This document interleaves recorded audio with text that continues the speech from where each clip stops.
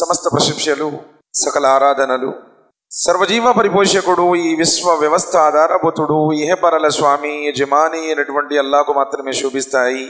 అల్లా సుబానవతాల అనన్యంగా ప్రేమించేవాడు అపారంగా కనికరించేవాడు. తీర్పు దినానికి తిరుగులేని చక్రవర్తి అల్లా తబారక వతాల అల్లా పూర్తి విశ్వసారము భూమాధికారంలో ఎవరిని కూడా తన కుమారుడిగా తన సంతానంగా చేసుకోండి కానీ లోకం మొత్తం కూడా హజరత్ ఈసా అలీ ఇస్లాం వారిని అల్లా యొక్క కుమారుడు అంటుంది అల్లా సుబానోతల ఖురాన్ని పంపడంలో ఉన్నటువంటి పరమార్థంలో ఒకటి వయోన్జిర్ అల్లదీన కాలుత్తకదల్లాహు వలదా సురతుల క్యాఫ్లో మనం చదువుతూనే ఉంటాం. ఎవరైతే అల్లాహకు సంతానం ఉంది దేవుని కుమారుడు ఉన్నాడు అంటున్నారో వారిని హెచ్చరించడానికి మేము ఈ గ్రంథాన్ని పంపాము అన్నాడు. జీవితంలో ఎప్పుడైనా ఎవరికైనా ఆ విషయాన్ని ప్రస్తావన చేశామా? సోదరుల అదేవిధంగా అల్లా సుబానోచాల ఈ భూమి ఆకాశాల పరిపాలన వ్యవస్థలో ఎవరిని తనతో పాటు భాగస్వాములుగా చేర్చుకోలేదు. ఒకరి సహాయ సహకారాలు తీసుకున్నటువంటి అవసరం ఏమాత్రం లేనివాడు పరమ పవిత్రుడు దోష రహితుడు అల్లా తబారకవత ఆయన అద్వితీయుడు అగోచరుడు అవ్యక్తుడు. అవసరాలు తీర్చేవాడు ఆయన మాత్రమే. అష్టైశ్వర్యాలు ప్రసాదించేవాడు కూడా ఆయనే. అష్ట కష్టాలకు గురిచేసి నిన్ను పరీక్షించేవాడు కూడా ఆయనే. మరి ఆయనే సమస్త మానవులను చిన్నాతులను సృష్టించాడు ఆయన ఆరాధించడానికి. కానీ దురదృష్టవశాత్తు మానవుడు రంగురంగులు ఈ ప్రపంచంలో వచ్చిన తర్వాత తనను పుట్టించినటువంటి ఆ నిజస్వామిని మరిచాడు. తాను అనుసరించాల్సినటువంటి దైవ ధర్మాన్ని విడనాడాడు. తరతరాల నుండి వస్తున్నటువంటి ఆచారాలను సాంప్రదాయాలను మూఢనమ్మకాలను గురుడిగా పాటించుకుంటూ మా పెద్దోళ్ళు చేశారండి మా తాతలు చేశారండి మా కులం వాళ్ళందరూ చేస్తున్నారండి మా ప్రాంతం వాళ్ళందరూ చేస్తున్నారండి. ఒక ఉదాసీన స్వభావంతో ఒక గఫ్లత్లో ఒక పరధ్యాన్నంలో సర్వసృష్టికర్త అల్లాహను విస్మరించారు. ఆయన ధర్మాన్ని విడనాడాడు. అలా అజ్ఞానందకార తిమిరాలలో కొట్టుమిట్టాడుతున్నటువంటి మానవ జాతికి సన్మార్గం చూయించడానికి అంధకార చీకట్లలో నుండి వెలికి తీసి స్వర్గం వైపునకు ఆహ్వానించడానికి అల్లా సుబానోతాల దైవ ప్రవక్తల్ని ఈ ప్రపంచంలో ప్రవేశించారు ఆ ప్రవక్తల పరంపరలో చిట్ట చివరి ప్రవక్త కారుణ్యమూర్తి హృదయాల విజేత మానవ మహోదయులు జగద్గురువు జీవజల అమృతమైనటువంటి కౌసర్ని పంచేవారు ప్రళయ దినం రోజున సిఫారసు చేసేవారు స్వర్గ ద్వారాలను తెరిచేవారు స్వర్గంలో అందరికంటే ముందు ప్రవేశి ప్రవేశించేవారు స్వర్గంలో అందరికంటే అత్యున్నతమైనటువంటి ముఖామే మొహమ్మూదుని అలంకరించేవారు ఆఖరి ప్రవక్త మొహమ్మద్ రసూలుల్లా సల్లల్లా అల్లా అల్లా సుబానుతల గదించినటువంటి ఆ దైవ ప్రవక్తలందరిపై ప్రత్యేకించి చివరి ప్రవక్త మొహమ్మద్ సల్లాహం వారిపై అమితమైన శుభాలు శ్రేయాలు అనంతమైన దరుదులను అల్లా తల కురిపించుగాక للذين اتقوا عند ربهم جنات تجري من تحتها الانهار خالدين فيها కానీ నువ్వు భయంతో జీవితాన్ని గడిపితే భక్తితో జీవితాన్ని గడిపితే హరాంకు దూరంగా ఉండి బ్రతికితే పరిశుద్ధమైనటువంటి జీవితం హలాల్ ప్రకారం ఖురాన్ హదీస్ ప్రకారం సున్నత్ ప్రకారం గడిపితే ఆ స్వర్గంలో నీకు చోటిస్తాను. నువ్వు సిరిగిపోయిన సొక్కా వేసుకోలేదు మీ ఇల్లు రేకుల షెడ్ అయ్యి ఉండొచ్చు. పర్వాలేదు అల్లా సుమానోతాల నీది సిరిగిపోయిన సొక్కా నా రేకుల షెడ్ చూడు లిల్లదీన తకవు భయం కలిగి ఉండవా లేవా? జన్నేతున్ తజనీమిన్ తహది ఎల్లన్హార్ ఖాలిదీన ఫీహా అక్కడ శాశ్వతంగా ఉంటాం. ఇప్పుడు ఏదన్నా కొంచెం జ్వరం వచ్చింది అనుకోండి అమ్మో చచ్చిపోతానండి భయం. ముందు బ్లడ్ టెస్ట్ ఆ టెస్ట్ ఈ టెస్ట్ ఏదన్నా చిన్న గుండె వచ్చింది అనుకోండి ఈసీజీలు అంటాడు అసలు ఎన్నో రకాలుగా. కానీ అక్కడ నువ్వు చచ్చిపోతావు అన్న భయం ఏది ఖాళీదీన ఫీహ ఒక్కసారి ఊహించండి చావు లేదు అంటే ఆ జీవితం ఎంత వైభవంగా ఉంటుందో. పవిత్రమైనటువంటి భార్యలు సతీమణులు మీకోసం ఉంటారు. ప్రపంచంలో ఉన్న భార్య ఉంటుంది. అల్లా సుబాను తల ప్రసాదించేటువంటి సాధర్మచారణులు కూడా ఉంటారు. వాజ్వాజం ముతహరతన్ పవిత్రమైన వారు ఏ కన్ను చూడలేదు అని. దాచిపెట్టబడినటువంటి ఆణి ముత్యాల వలె ఉంటారు అన్నారు. నబీ కరీం సల్లల్లాహు అలైహి వాలి వసల్లం వారు ఏమన్నారో తెలుసా? ఆ స్వర్గ వైభవం స్వర్గం ఎంత అమూల్యమైనదో. ఆ స్వర్గ కన్య వేసుకునేటువంటి ఓణి ఉంది పైన. ఆ చున్నీ ఖరీదు ఎంతో తెలుసా? నువ్వు ఈ లోకం మొత్తం అమ్మినా సరే ఆ ఓణి కొనుక్కోలేవు అన్నారు నబీ కరీం ఈ భూమండలం మొత్తం అమ్మినా సరే స్వర్గంలో కొరడ కొరడ తగిలించుకుంటామే కొరడ. ఆ కొరడ తగిలించుకునేటువంటి చోటు కొనలేమన్నారు అవునా కాదు సార్? ఇప్పుడు డిస్టిక్లో పల్లెటూళ్ళు ఉంటాయి. పల్లెటూళ్ళలో పది ఎకరాలు అమ్మితే కూడా కరీంనగర్ నడిబొడ్డున ఒక సెంటు రాదు. పది ఎకరాల పొలం అక్కడ అమ్మితే ఇక్కడ ఒక సెంటు స్థలం వచ్చింది కరీంనగర్ ఇప్పుడు మెయిన్ సెంటర్లో ఇక్కడ పది సెంట్లు అమ్మిన హైదరాబాద్ మహానగరంలో ఆవిడ్స్ లోనో లేదా మంచి కాస్ట్లీ ఏరియా ఉందో అక్కడ నీకు ఒక్క గజం కూడా రాదు. ఇక్కడ దొవ్వినా మట్టే అక్కడ దొవ్వినా మట్టే వచ్చేది. ఎక్కడైనా మట్టే ప్రాంతాన్ని బట్టి ఉండే ప్రజల్ని బట్టి అక్కడ ఉన్నటువంటి డెవలప్ను బట్టి ఆ ఏరియాని బట్టి రేటు మారుతుంది. స్వర్గం. సప్తాకాశాల మీద సృష్టించబడినటువంటి ఆ స్వర్గం యొక్క వైభవం ఎంత ఉన్నతమైనది సుభానల్లా ఊహ కూడా అందదు సోదరులారా. ఉన్నది యథార్థం. నబీ కరీం సల్లల్లా అలీస్లం వారి కన్ను చూసింది. ప్రవక్త మొహమ్మద్ సల్లల్లా అలీస్లం వారిని సప్తాకాశాల మీదకు తీసుకుని వెళ్ళారు.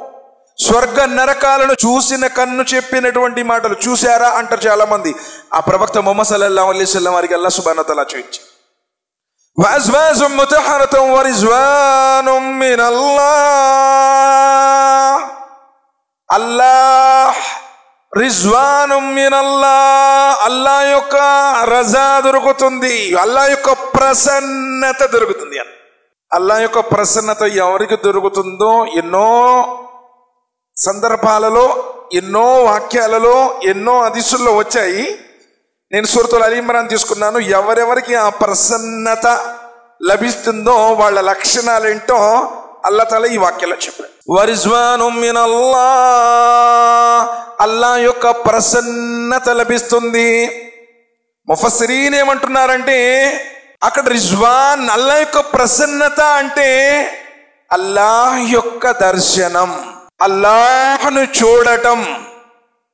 మరి నిజంగా ఈ లోకంలో ఇప్పటిదాకా ఆదాం అలీ ఇస్లాం వారి నుంచి మొదలుకొని ప్రపంచంలో వచ్చిన ఏ మానవుడు కూడా ప్రళయం దాకా కూడా ఎవ్వరు వల్ల చూడలేదు.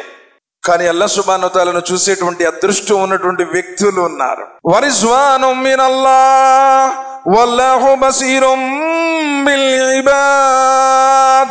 అల్లా ప్రసన్నత అల్లా యొక్క దర్శన భాగ్యము వారికి లభిస్తుంది. ఆయన తన దాసుల్ని చూస్తూనే ఉన్నాడు. వల్లాహు బసీరం బిల్ ఇబాద్. నీకు చూడాలని ఉంటుంది కానీ నీ ఆచరణ అలా ఉందా లేదా? ప్రతి ఒక్కరికి అల్లాను చూడాలని ఉంటుంది సార్. కానీ అల్లా సుబానతల ప్రళయ దినం రోజున కూడా వారికి తెర వేస్తాను అన్నాడు. దొంగలు వ్యభిచారులు అంతకులు అవిధేయులు తల్లిదండ్రులు వేధించేవారు ఆస్తులు కబళించేవారు వడ్డీ వ్యాపారాలు చేసేవారు లంచాలు కట్నాలు ఇరుగు పొరుగులు యొక్క గట్టులు జరిపేటువంటి వాళ్ళు వాగ్దాన భంగాలను చేసేటువంటి వారు అల్లాను చూడలేరు. గుర్తుపెట్టుకోండి. సున్నతకు విరుద్ధంగా ఉండేవాళ్ళు బిదాతులు చేసేవాళ్ళు దురాచారాలు చేసేటువంటి వాళ్ళు ఖురాన్ చెప్పినా కానీ మనోవాంఛలకు బానిసనేటువంటి వాళ్ళు అల్లా యొక్క ప్రసన్నత లభించదో గుర్తుపెట్టుకోండి. నమాజులు ఎక్కొట్టేవాళ్ళు ఉపవాసాలు ఎక్కొట్టేవాళ్ళు జగాదులు ఎక్కొట్టేవాళ్ళు అల్లాను చూడలేరు అల్లా యొక్క ప్రసన్నత లభించదో గుర్తుపెట్టుకోండి. ఎందుకు? వల్లాహు బసీరం బిల్ ఇబాద్ ఆయనని చూస్తున్నాడు. అసలు నీకు ఆయన కనపడాలా? వద్దా? నీకు స్వర్గం ఇవ్వాలా? నీ టోటల్ జీవితం మొత్తం ఆయన కనుసన్నల్లో ఉంది అన్నాడు. నువ్వెవరో తెలియదు ఆయనకి? నువ్వేం చేస్తున్నావో తెలియదు ఇక్కడ ఏదో నిన్ను చూసి ఏమో బుజురుకు చిపోలికి ఆమె సలాం బోలితే ఎంపటే చాలా గౌరవిస్తాము. అసలు నువ్వెవరో? ఫలా తుజక్కు అనిపుసకం ఆలమ అసలు నువ్వెవరో నీ క్యారెక్టర్ ఏంటో నువ్వు తల్లి గర్భంలో పిండంగా ఉన్నప్పటి నుంచి ఆయనకు నీ గురించి మొత్తం తెలుసు అన్నాడు. మనం ఎలాంటి వాళ్ళు ఆయనకు తెలియదా ఏంటి? తెలుసు సమస్తం తెలుసు. కాబట్టి అల్లా సుబానోతాల అంటున్నారు ఆ తాను మెచ్చేటువంటి తన ప్రసన్నత లభించేటువంటి అదృష్ట జాతకులు ఎవరు? అల్లదీన రబ్బనా. వాళ్ళు ఏమని అడుగుతుంటారు? వాళ్ళు ఎలా దువా చేస్తుంటారు? అల్లదీన యకూలూన రబ్బనా.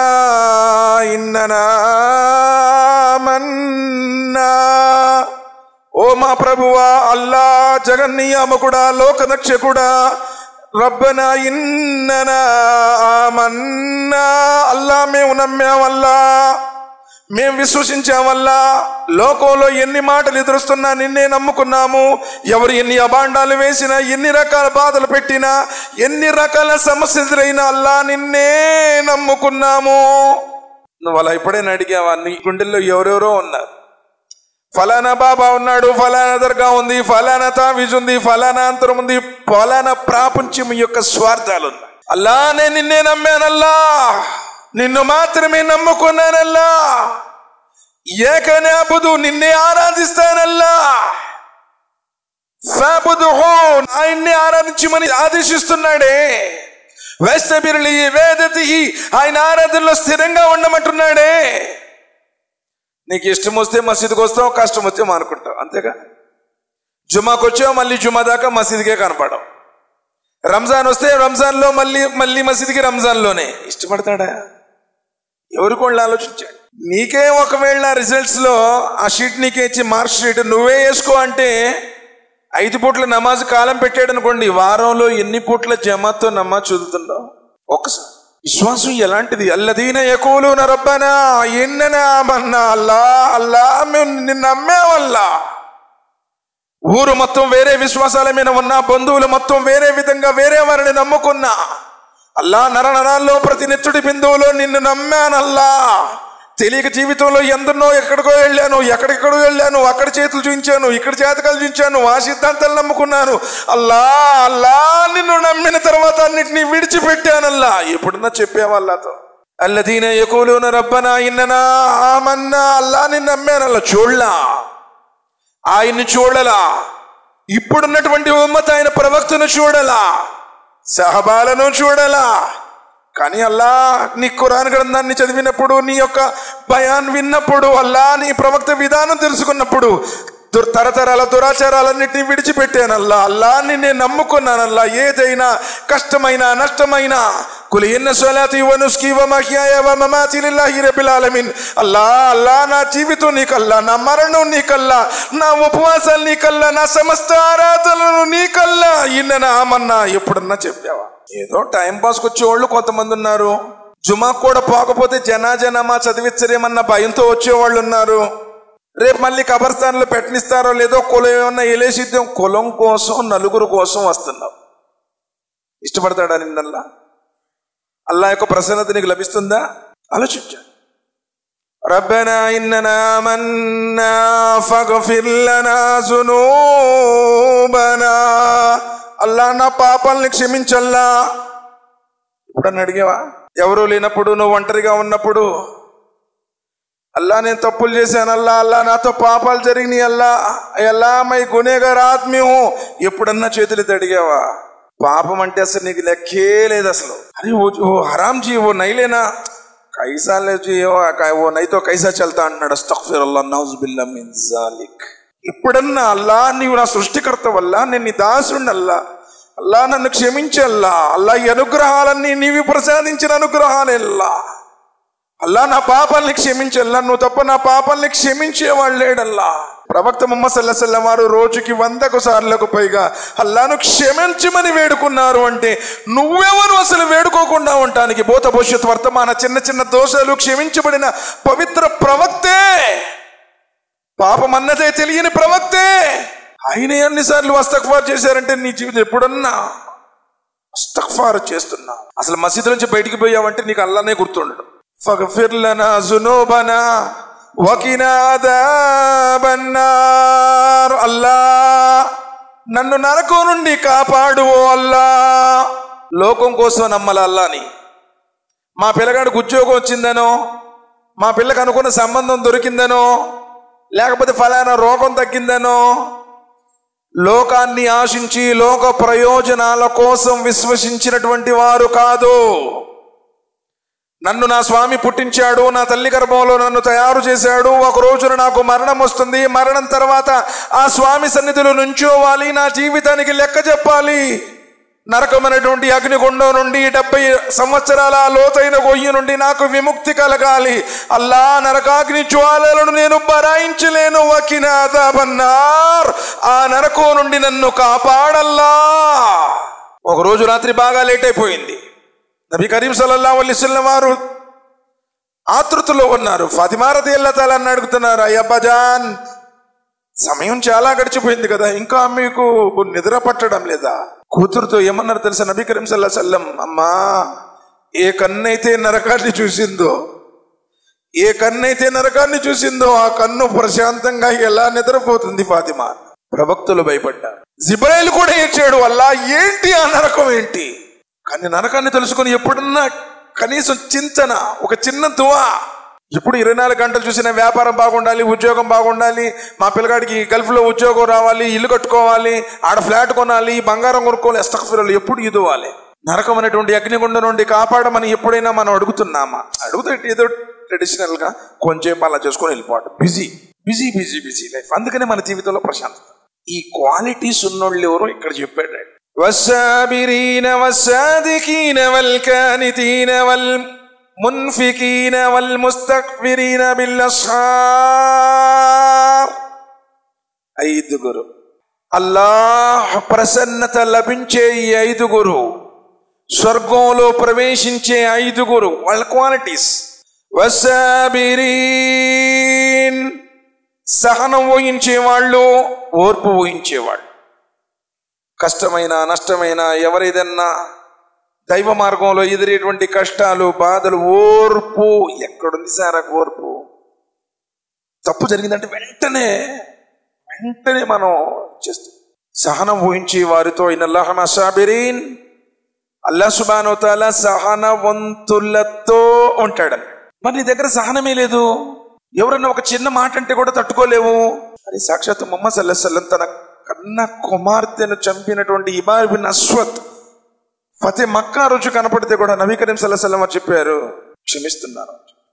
సహనం ఓర్పు. నువ్వు కంట్లో ఎక్కువ కనపడదు అంటే నేను చూసిన ప్రతిసారి నా కూతురు మరణం గుర్తొస్తుంది అన్నారే.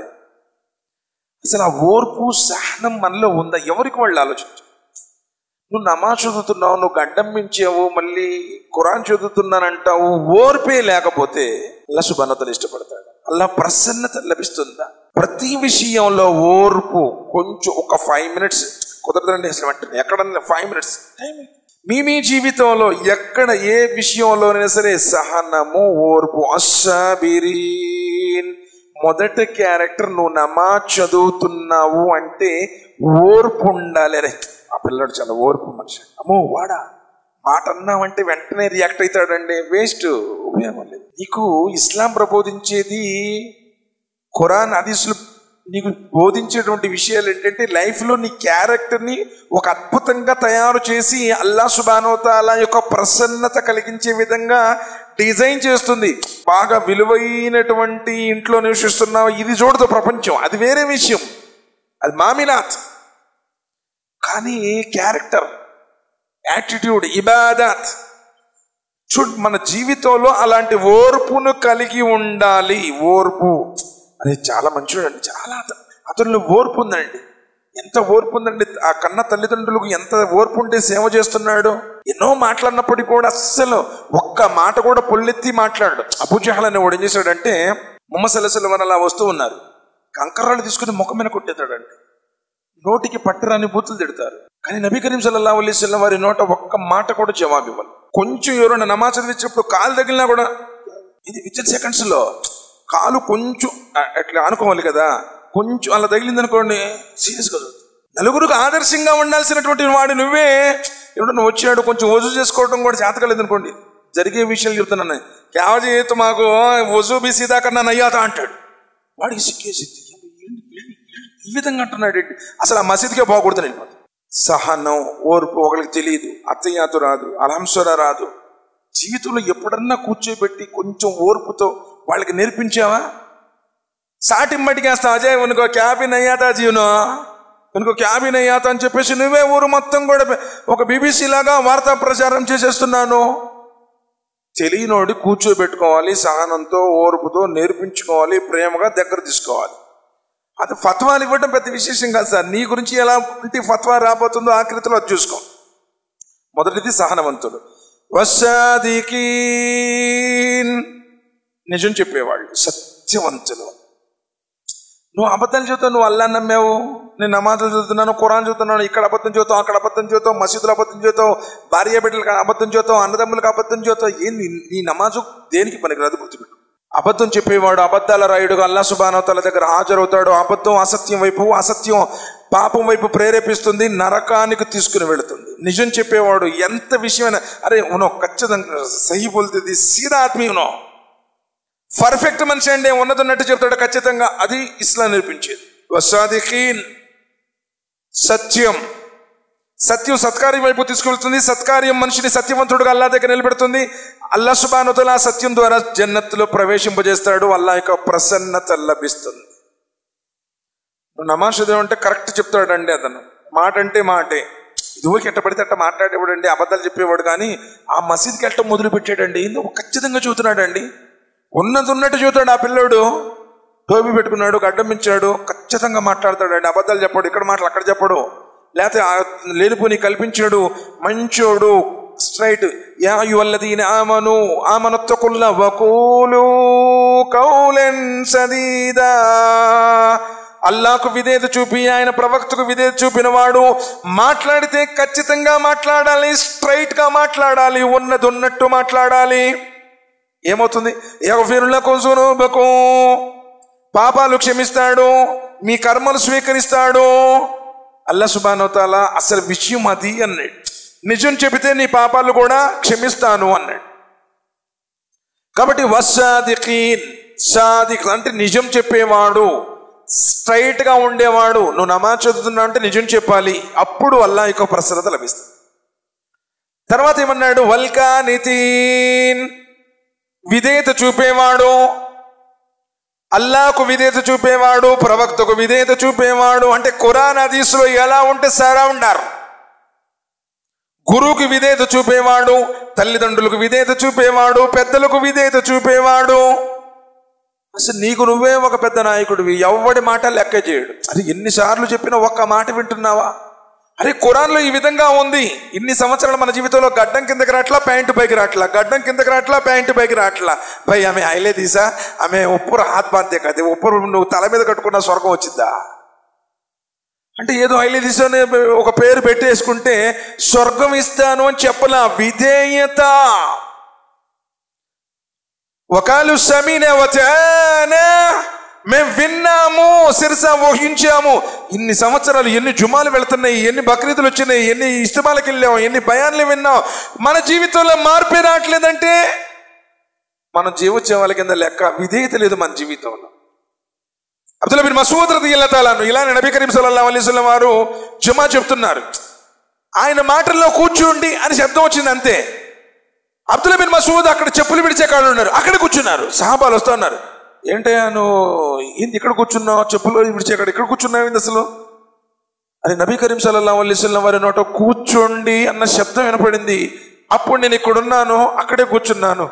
ఆయన నోట మాట వింటము ఈ అబ్దుల్లా అడుగు వేయటమా? ఇక్కడే కూర్చుంటాను అక్కడ కూర్చున్నాడు. ఇన్ని సంవత్సరాల నీ జీవితంలో ఖురాన్ నీ మీద ప్రభావం చూపట్లేదంటే నువ్వు ఊర కులం కోసం వస్తున్నావు అంతే. తెలీదా? గిలకల కింద ప్యాంట్లు వేయకూడదు నరకానికి ఆహుతైపోద్ది అని చెప్పి? తెలీదా వడ్డీ హారామని చెప్పేసి వడ్డీలో డెబ్బై పాపాలు ఉన్నాయి. అన్నిటికంటే చిన్న పాప సొంత కన్న తల్లితో వ్యభిచారం చేసిన దానికంటే పాపం తెలియదా నీకు? వృధా ఖర్చులు చెయ్యొద్దు అని చెప్పేసి తెలియదా? విధేయత లేదు. వింటాం విడిచిపెడతాం వింటాం విడిచిపెడతాం. అదే అంటారు ఒకళ్ళు శమిన వచాన విన్నాము సిరిస వహించాము విధేయత చూపేవాడు. విధేయత చూపేవాడు. తన అమీర్కి విధేయత చూపేవాడు. తన పైన ఉన్నటువంటి వారికి విధేయత. జన్మనిచ్చిన కన్న తల్లిదండ్రులు. ఈ తల్లిదండ్రులు నిన్ను చూస్తే భయపడుతున్నారు. ఏమంటాడో? ఏం తిడతాడో? ఏం అరుస్తాడో? అబ్దుల్ బిన్ మసూద్ రది తలా అని చెప్తున్నారు. మా కాలంలో మేము తల్లిదండ్రుల విధేయత అంటే ఎలా భావించేవాళ్ళం అంటే తుప్పుడు విదిలించేటప్పుడు వాళ్ళ మీద దుమ్ము పడినా కానీ అది అవిధేయత అని చెప్పేసి మాకు భయం వేసేది. దుప్పటి విదిలించేటప్పుడు దుమ్ము పడితే ఎన్ని చిట్లు తిడుతున్నావు నువ్వు? ఎంతగా వాళ్ళని వేధిస్తున్నావు నువ్వు? భార్య వైపు మొగ్గు చూపి జన్మనిచ్చిన కన్న తల్లిదండ్రులు వేధిస్తాను? వవిల్వాలి దేనికి సానా? వవిల్వాలి దేనికి సానా? తల్లిదండ్రులకు విధేయత చూపు తల్లిదండ్రులతో ప్రేమగా ఉండు తల్లిదండ్రులతో సద్భావంతో మెలుగని ఇరవై ఆరు చోట్ల చెప్పినా కానీ నువ్వు తల్లిదండ్రులు వేధిస్తున్నావు అంటే నీకు స్వర్గం లభిస్తుందా? అల్లా యొక్క ప్రసన్నత ప్రాప్తిస్తుందా? సోదరులారా వల్కానితి విధేయత చూపేవాళ్ళు తెలియదు. ఇప్పుడు విన్నాము. ఇదిగో ఈ విధంగా జీవిస్తే అల్లా సుబానతల ఇష్టపడతాడు. దానికి వెంటనే మన జీవితంలో ఇంప్లిమెంట్ చేసుకోవాలి. ఆచరించాలి. అల్లా ఎన్నాళ్ళు తెలియదు అల్లా చేసిన మాట వాస్తవమే. తప్పులు చేశాను అల్లా అల్లా ఇక నీ కురాన్కి విధేయత చూపుతాను అల్లా నీ ప్రవక్త సున్నతికి విధేయత చూపుతాను అల్లా అల్లా అమీర్కి విధేయత చూపుతాను అల్లా తల్లిదండ్రులకు విధేయత చూపుతాను అల్లా ధర్మంలో ఉన్న ప్రతి ఆజ్ఞకు విధేయత చూపుతానల్లా. అన్నవాడికి అల్లా ప్రసన్నత లభిస్తుంది. వల్మున్ఫికీన్. అల్లా మార్గంలో ఖర్చు చేసేవాళ్ళు నీ డబ్బే. కానీ అల్లా సుబానోతాల ఇచ్చిన తెలివితేటలు అల్లా సుబానోతాల ఇచ్చినటువంటి హయాత్ అల్లా సుబానోతాల ఇచ్చినటువంటి వనరులు అల్లా సుబానోతాల ఏది నీకు ప్రసాదించాడో దానిలోంచి ఆయన మార్గంలో ఖర్చు చేసేవాళ్ళు. మసీదుల కోసం మదర్సాల కోసం దైవ సందేశ ప్రచారం కోసం వితంతువుల కోసం అనాథల కోసం అభాగ్యుల కోసం బానిసల కోసం అనవసరంగా శిక్షలు అనుభవించేటువంటి ఖైదీల కోసం జీవితంలో సరైనటువంటి సంపాదన లేక ఇబ్బందులు పడుతున్నటువంటి ఆర్థిక పరమైనటువంటి ఇబ్బందులు పడుతున్న వారి కోసం అప్పుల్లో ఉన్న వాళ్ళ కోసం ఎప్పుడైనా మై రంజాన్ మే పచాస్ యారియా పాటించి అని చెప్పి సాటి వేసుకుంటాడు. ఏదో ఒకటి రెండు మంచి మొత్తం ఫేస్బుక్లో యూట్యూబ్లో పెట్టేసి మా ఓ కార్యం మా ఏ కార్యం కాకి లెక్కలు చూస్తే అల్లా సుబాన దగ్గర ఇష్టపడి దాని తర్వాత లాస్ట్లో వల్ ముస్తక్ ఫిరీన బిల్లస్హార్ ఉమ్మత్ దూరం చేసుకున్నటువంటి విషయం అండి ఇది. అల్లా ప్రసన్నత లభించేటువంటి ఈ అదృష్టవంతుడు అయితే వాడు ఎవడయ్యా అంటే వల్ ముస్తక్ఫిరీన బిల్లసార్ ప్రపంచం మొత్తం గురకలు పెట్టి నిద్రపోయేటువంటి రాత్రి ఆఖరి గడియలో లెగుస్తాడు. ఆకాశాల స్వామి ఏడు ఆకాశాలపై సృష్టి సామ్రాజ్య పీఠాన్ని విడిచి మొదటి ఆకాశం మీదకు వస్తాడు. దాసుల మొరళాలకిస్తాడు ప్రార్థనలు స్వీకరిస్తాడు. ఆ సమయం లెగుస్తాడు అల్లా అల్లా వల్ ముస్తగ్ఫిరీన బిల్లసార్ నన్ను క్షమించు క్షమించు క్షమించు అని అల్లాతో వేడుకుంటాడు. ఫజర్ నమాజే చదవు నువ్వు. ఇంకా తాజుద్ నమాజ్ కోసం ఏళ్ళకి వస్తావు? అందుకనే డాక్టర్ గారు నిద్ర పట్టట్లేదు అంటే వెళ్తాడు. చాలా మంది అడుగుతారు గురువు గారు ఏంటి నిద్ర పట్టట్లేదు? మేము స్కానింగ్ చేపించామండి ఏమీ లేదన్నారు. రిపోర్ట్స్లో ఇవ్వండి ఏం కావట్లేదు. ఎవడైతే ఫజర్ నమాజ్ చదవడో వాడి చెవిలో మూత్రం పోస్తాడు శైతాన్ మూత్రం దగ్గర ఉంటేనే వాసన వస్తుంది చెవిలో పోస్తే నీ మానసిక వేదన మొత్తం అధికంగా ఏమవుతుంది? నిద్ర పట్టదు టెన్షన్ టెన్షన్లు ఏముందో అర్థం కాదు ఏం చేయాలో అర్థం కాదు. ఏంటి పరిస్థితి? కారణం.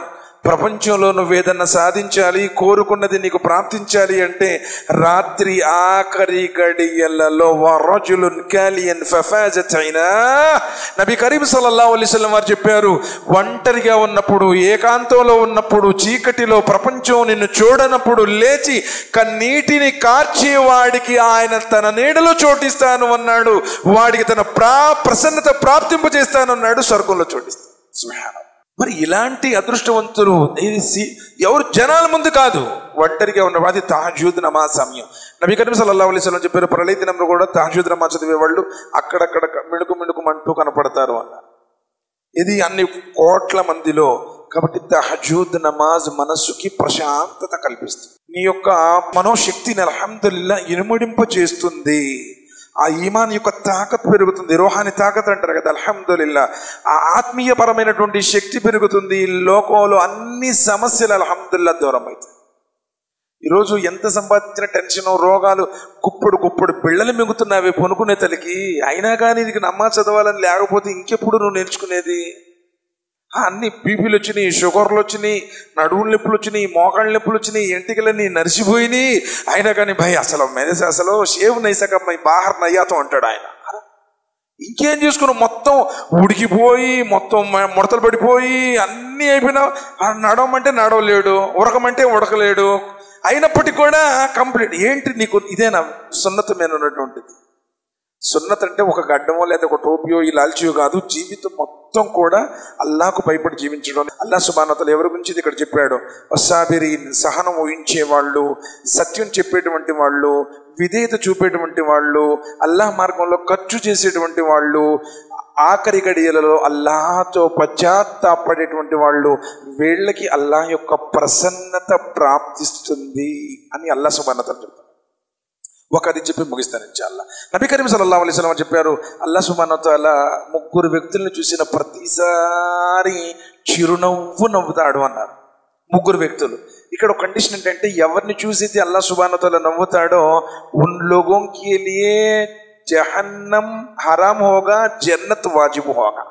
ఎవరిని చూసి అల్లా నవ్వాడు అంటే అతడికి స్వర్గమే అనమాట నబీ కరీం సల్లాహం అంటారు ఆ వ్యక్తి మొదటి వ్యక్తి ఎవడంటే అందమైనటువంటి భార్య అలంకరించబడినటువంటి పాన్పు ఉండి కూడా అల్లాహ్ యొక్క ఆరాధన కోసం తన కోరికలను అణిచిపెట్టుకొని అల్లాహ్ యొక్క ఆరాధనలో లీనమయ్యేవాడు మొదటి మనసు రెండవది ఏ వ్యక్తి అయితే ప్రయాణ బృందంలో ఉండి ప్రయాణం మొత్తం అలసిపోయి నిద్రపోతున్నప్పటికీ ఆ బృందంలో ఎవడైతే ఆరాధన కోసం నిలబడతాడో ఆ వ్యక్తిని చూసిన ప్రతిసారి అల్లా సుబానోతాల చిరునవ్వు చిందిస్తాడు. ఎందుకంటే వాళ్ళతో పాటు ఇతను కూడా నిద్రపోవచ్చు. కానీ ఆరాధన సుహానమ్మ దాని తర్వాత ఏ యువకుడైతే అల్లాహ మార్గంలో బయలుదేరతాడో ఆయన ధర్మం కోసం తన యొక్క తనువు ధనము సమస్తాన్ని త్యాగం చేయడానికైనా సిద్ధపడి వెళ్తాడు ఆ వ్యక్తిని చూసిన ప్రతిసారి అల్లా సుబానోతల చిరునవ్వు చిందిస్తాడు ఎప్పుడన్నా సోదరుల ఆలోచన ఎక్కడ ఇస్తిమా के लिए भाई आज मेरे से होता नहीं जी मैं फैमिली के साथ बाहर जाते हैं ఇప్పుడు ఒక ఇస్తిమాకి పోవు మసీదుకి ఒక అరగంట ముందు రావు ఖురాన్ గ్రంథం చదవు జిక్ర్ చెయ్యు ఎలా లభిస్తుంది చూడండి కాబట్టి అల్లా సుబానతలో దువా చేస్తున్నాను వల్ల ఈ వాక్య ప్రకారం. ఎవరికైతే నీ ప్రసన్నత లభిస్తుంది అన్నావో ఆ సత్యమంతుల జాబితాలో మమ్మల్ని కూడా చేర్చు వల్ల ఇహపర సాఫల్యాన్ని ప్రసాదించు వల్ల